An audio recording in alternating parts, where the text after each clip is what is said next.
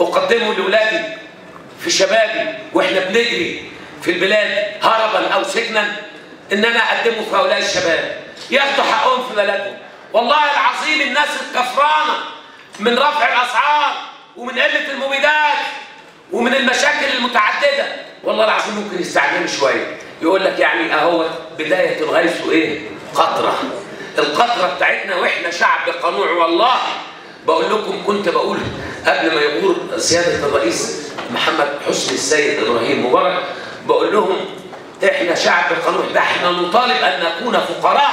عندما كنا نطالب بالحد الأدنى للاجور كنا نطالب بأن نكون فقراء لأن ده حد الفقر.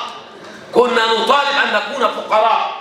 هذا الشعب البسيط القنوع اللي هو مش عايز يعني يوصل لما وصل إليه اعدائه اعدائه مش بس اعدائه في الخارج من صهاينة وأمريكان لا اعدائه من الخونه المصريين اللي نهبوا البلد وسرقوها ولسه مصرين قوانينهم وأفكارهم وعاداتهم تفضل حكمانه لحد النهارده.